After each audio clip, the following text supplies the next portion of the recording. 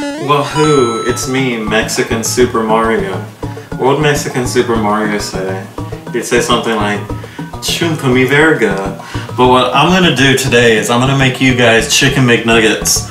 So um, first we're gonna need to go to the store and get the ingredients to make chicken McNuggets. So come with me on an adventure to Ralph's. Cause at Ralph's you're number one and you come first. It's your boy, FrankJavCee, and we at the Ralph's. You know what these are called? Gonna get some of uh, Daddy's secret sauce. You know I can't go without my uh, my favorite drink. Next you're gonna need some blended up chicken. You can't go wrong with Incerno's premium ground chicken. Ails you, this doctor can fix it. I didn't even get that. Are you serious? Yeah. And now to make it extra crispy, we're gonna get some sparkling arrowhead water because some fat Australian guy told me to do it, so I'm doing it. Look at this cat, it's eating plastic. You think you could just walk around this table acting like you own the place or something? You bit my toe today and it hurt. Hey, we're back. So now that we're back from the store, put your sparkling water in the fridge because we're gonna use this later. And then um, what we got is uh, garlic powder and onion powder, some cornstarch, and some all-purpose flour for the breading of the chicken. So next what we're gonna do is we're gonna get your, your ground chicken and we're just gonna open that shit up.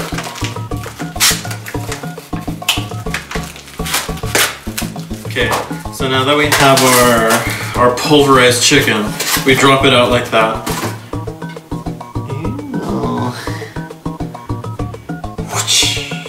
And uh, since you know all women are queens, we're gonna make the chicken nuggets in the shape of little crowns. So now that we have our grounded up chicken, let's put the little crowns in there so that we could turn these. This is not gonna work. I'm sorry. I guess. let's just put them into little balls for now. So I guess I want to make a boot though. Like those are my favorite type of nuggets, are the boots.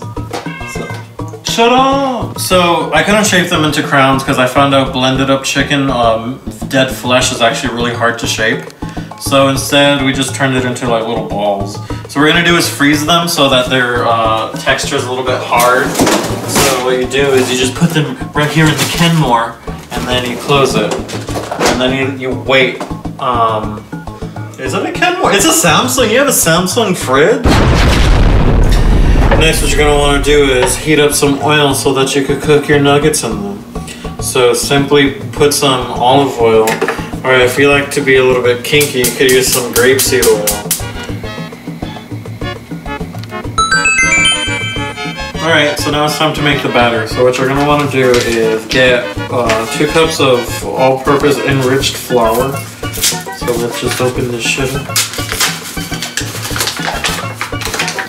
One cup, two cups. And next what you're gonna need is a tablespoon of cornstarch, which uh, as we all know is made out of the corn.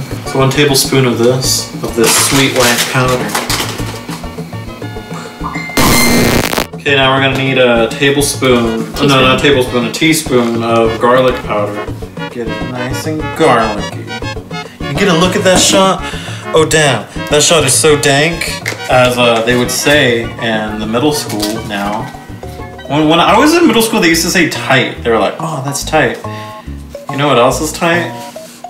Um, my appreciation and respect towards women. Okay, so now we add the uh, garlic salt. Um, is this garlic salt? No, it's garlic powder. And then this was garlic salt.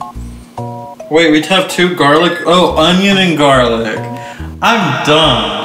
Next, we gotta get our sparkling water. This is what makes it crispy. Oh shit!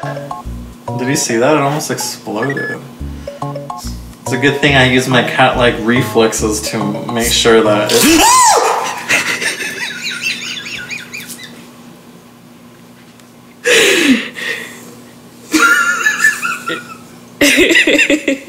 Okay, um, now we have one cup of sparkling water. Fuck, that sounds beautiful. One cup. Oh, look at that shit. and one huevo. That means egg in fucking whatever language that it is in. Oh yeah. And now we mix it up together like so.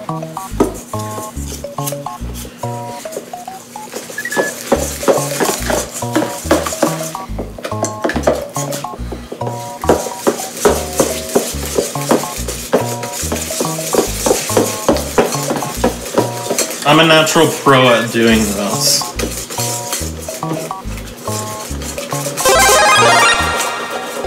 Is it too thick?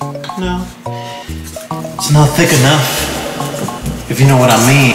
I'ma beat up your mom. Ooh, I'ma beat up your dad. Ah, my penis is so big, I can't keep it in my pants. So next what you're gonna wanna do is get your kind of semi-frozen thick nugget and dip it in the concoction like so. See, it's in there swimming by itself, but don't worry, it's gonna be there with all its little friends soon. And then just kind of like, I don't know, this is thick as fuck, holy shit. Not gonna lie, we fucked up. We fucked up really bad. We made them too big. But you know, cooking in is all about the journey, not how good the food is. Because eventually one day, um, we're all just gonna die. And the more you deep fry, the faster it gets. So remember, kids, always smoke cigarettes. Uh... Alright, so we fucked up on the first round, but we learned. Because I wanted the chicken nuggets to be thick as fuck, because you know I like it big. But like, what we did was we made them smaller and made the, the sauce a little bit, not the sauce, what's it called? The batter, a little bit runnier. So like, it'll just easily like, you know. So what you gotta do is you get your little nugget, you, you cover it in the, in the, in the sauce like so. And then you take it out and then you pour it in here. And now we just gotta do the rest. So, take our little nuggets for a swim. Did you know chickens, if they look up, they'll, they drown? Also, did you know if you cut a chicken's head off, it'll still survive for like a, a, while? And uh, did you know chickens are actually uh, the ancestors of, of dinosaurs? Did you know chickens? Um, Look at this delicious looking fried flesh of dead chickens covered in flour. It's so beautiful. It's cum juice. What's this? Dad? Shut up. Alright, so uh, stick a fork in, in these nuggets because I believe that they are completed, as I would say. So now we just take them out and put them on a little paper towel. Um, how long were they cooking for? I don't know, like forever long. Yeah, so like just leave them in there for forever, and then eventually when they turn golden brown, just like my skin complexion, just uh, take them out of their uh, out out of the fryer and put that in there. Is there a chef like on Food Network that says that? Like there has to be at least like one chef that's like golden brown, like my skin complexion. And it's like a soul food chef from like Louisiana who's like really into Cajun cooking. Who's like great, great, great, great, great grandmother was like one of those like runaway slaves, sort of like a voodoo thing in like Louisiana, and like they were like you know, uh, I forgot where I'm going with this, but these nuggets are done as fuck, as the cool kids would say.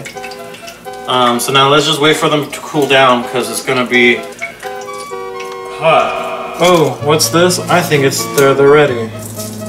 See that crispy, crumbly whiteness in the center? That's how you know that the nuggets are done. There's a hair on my thumb. Can you see that? Yeah. That's so weird. Well, anyways, bone apple tea. Mmm. Mmm. Now let's not forget some of our daddy's secret sauce. So just pour a little dollop on that. Mm-mm. And we're about to be taken to Flavor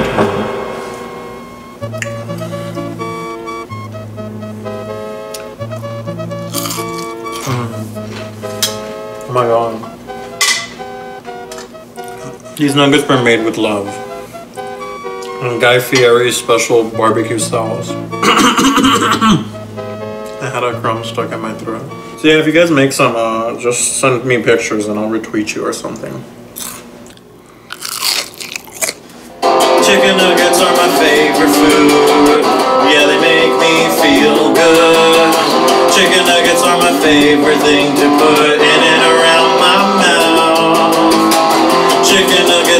So dang beautiful. I wanna put them inside my cuticles. Chicken nuggets are the best thing in the world. So uh, I want to thank the spirits and souls of all the chickens in which I consumed today. So uh, let's have a moment of silence for these uh, chickens while I play a basic pop chord progression on, on the guitar.